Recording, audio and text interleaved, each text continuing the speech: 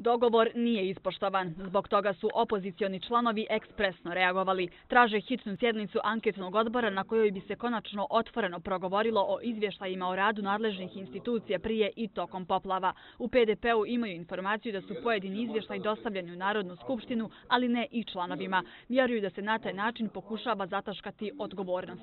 Sasvim logično je da je ta sumnja opravdana.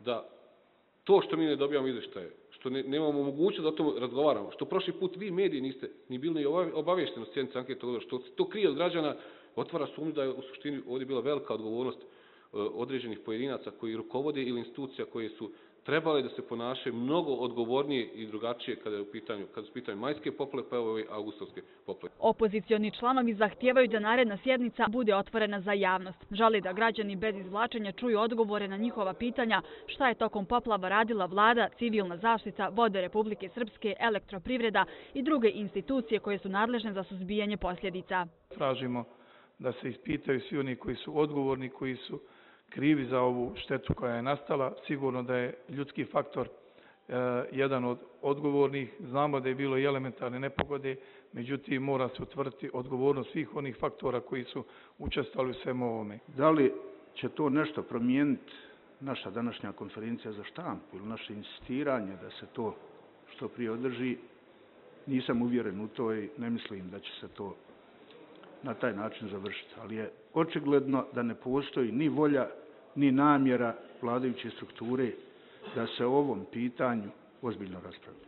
To nije tačno, odgovara predsjednik anketnog odbora. SNSD-ov Spominko Vasilić potvrdio je za BN da je većina izvještaja stigla u parlament Srpske.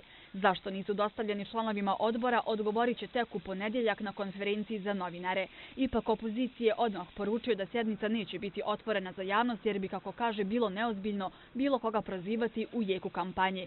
Sve sluti na to da je bitnije sačuvati nečiji ugled nego pronaći odgovorne ukoliko ih je bilo u majskim poplavama. U toku dana očekujemo još dio izvještaja koji nije stigao, smo pa višten da će stići u toku dana i ja ću ponedjeljak da kolegama poslanicima, članovima anketnog odbora da ustupim sve materijale, pošaljem da oni mogu sve to da pregledaju i da vide šta je stiglo i treba će vjerovatno njima nekoliko dana ovaj, da, bi, da, bi, da bi to na pravi način svi vidjeli i onda će da se sjednicu anketnog odbora.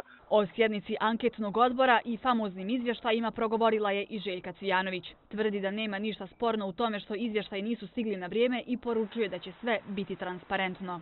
Ne vidim tu problem. Dobit će izvještaj, vjerovatno u svoj ovoj situaciji.